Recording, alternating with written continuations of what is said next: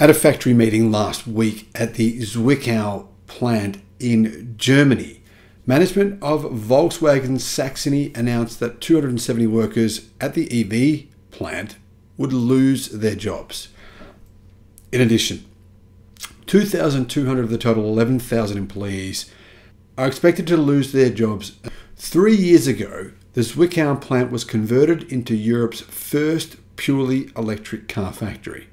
In addition to Volkswagen models ID3, ID4, and ID5, the Audi Q4 e-tron and the Q4 Sportback e-tron, as well as the Cupra Born, are produced there. At the time, the Volkswagen Group and the state government, plus IG Metall Union, basically the union for automotive employees in Germany, claimed that secure jobs would be created and a prosperous future of climate friendly mobility was on the horizon. Hello, my friends. Welcome to the channel. It's great to see you. Thank you for tuning in. My name's Sam Evans. You're watching The Electric Viking. This is the greatest disruption in mankind. In mankind's history, the disruption of the automotive industry is the greatest economic transformation that we've ever seen. I'm not talking about my lifetime, I'm talking about the lifetime of humanity. That sounds crazy, but the truth is that the automotive industry supports the entire German economy. And right now, it's in crisis. For weeks, the IG Metall Union Council representatives have been negotiating with Volkswagen managers behind closed doors about the extent to which shifts will be cut and when and how many workers will see their jobs removed. The workforce and the workers concerned are to be presented with a fait accompli so that it is too late for them to act against it. Saxony State Minister of Economic Affairs Martin Dulig, Social Democrat Party, unintentionally admitted that the workforce was being deceived by politics and trade unions. It is a serious situation, he said, adding he had been in contact with the Works Council for several weeks. Workers say they have the right to know what the future holds for them, and they're not being told the truth by Volkswagen. All restructuring and downsizing plans must be disclosed immediately. And this comes amidst massive investment by the Volkswagen Group in China. Unions and staff at the Volkswagen plants in Germany are concerned. They believe the Volkswagen Group's plan is to start selling EVs made in China in Europe instead of EVs made in Germany. The reason? Much cheaper to manufacture them in China.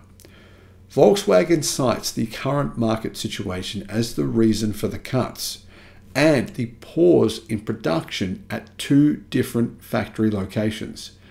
High inflation and declining subsidies meant electric vehicle buyers were holding back, say Volkswagen.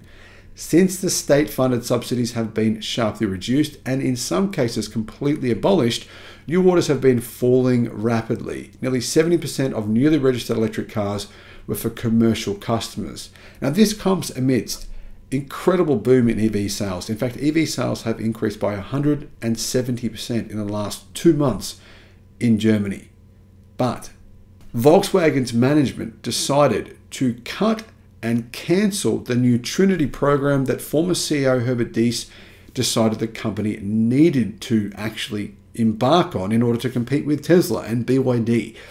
The CEO, the former CEO of the group, decided that the group needed its its own dedicated EV platform, which was going to be a much better version of its current MEB platform. However, the company officially announced one week ago that Trinity was dead. Why? Well, I'm not sure, but we do know that in that period of time, the Volkswagen Group have actually bought into using three different Chinese made electric car platforms from Leapmotor Xpeng, and Chinese government owned SAIC. At the factory meeting in Zwickau, Volkswagen management sought to placate workers, claiming sales figures would rise again next year. Workers do not share this optimism. Since even the smallest Volkswagen electric model, the ID3, costs around 40,000 euros, it's unaffordable for many, many buyers. In China, it costs 16,000 US dollars or 15,000 euros. Under these conditions, to achieve the profit increases decided Volkswagen needed, a veritable massacre of jobs, wages, and working conditions is about to take place. There is no way this can be achieved by further state subsidies alone, which Volkswagen is demanding from the German government. Such measures are rather meant to be keep. The workforce believes that the measures Volkswagen is putting in place are intended to simply keep the workforce quiet.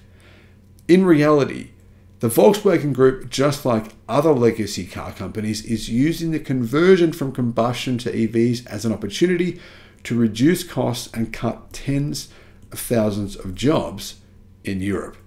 Volkswagen wants to earn 10 billion euros more in 2026 than it does this year. It has to because it plans on borrowing 200 billion US dollars when it already has 185 billion in debt. That would make it the most indebted company in the history of mankind. In order for the company to achieve this, the performance program of Volkswagen and IG Metall envisages a doubling to tripling of current returns. Not really likely to be possible, in my opinion, but what do you think? The workforce, the workforce has not yet received any information on how many and which jobs will fall victim to the cuts program, but they're very concerned jobs are going to China. The events of the last week show where Volkswagen is headed, though. Jobs are not only being cut in Zwickau and Dresden, production of electric cars, the ID4, the ID7, and the ID3 have been shut down as well. 300 of 1,500 temporary workers will no longer be employed from August. Short time work has become the norm. There is no Volkswagen plant that is not currently being affected by changes. At Volkswagen's Kassel plant in Baunatal, the assembly lines are being partially shut down, affecting almost 3,500 workers. Shifts are being cancelled in Osnabrück. At Volkswagen's plant in Portugal, a nine week production freeze has been imposed since last week. As a result, 300 workers and those on fixed term contracts have lost their jobs. Thousands of workers in supplier companies in the industrial area in Palmoloven in Poland are now dependent on welfare benefits because the Volkswagen Group is not paying them any wages. At Volkswagen's main plant in Wolfsburg, where mainly Golf and Tiguan models are built, short time work has been introduced. And according to a Volkswagen spokesperson, all four assembly lines have been affected. Media in Germany say the Wolfsburg plant, Volkswagen's biggest, could come to a complete standstill in October. Last Wednesday, CEO Oliver Blume announced that the originally planned state of the art dedicated factory for the Trinity series at the headquarters in Wolfsburg will not be part of Volkswagen's plans for the future. It has officially been cancelled.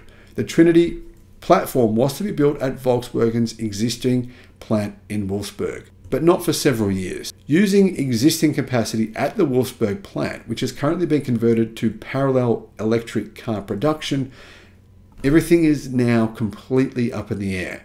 Workers just don't know what's going on.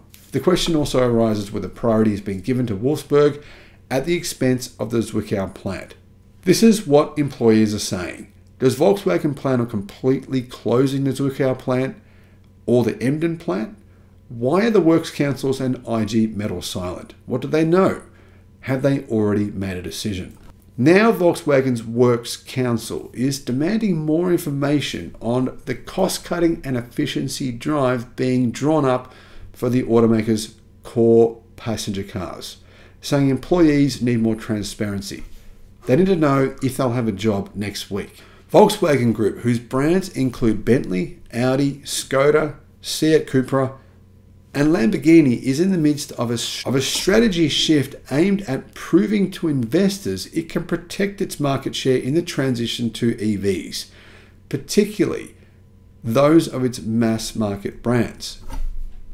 Volkswagen, though, cut its sales targets in July and said performance programs must begin yielding results this year to cope with rising competition, particularly competition in China, where historically the group has made 50% of its profits and 40% of its worldwide sales. But it's under attack in China from all angles. Tesla, BYD, Aion, many car companies are actually targeting Volkswagen directly.